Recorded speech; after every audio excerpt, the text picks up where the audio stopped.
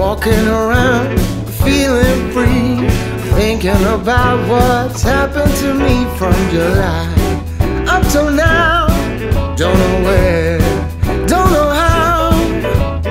Lately I've come to realize that I can't see it in your eyes, so it's true.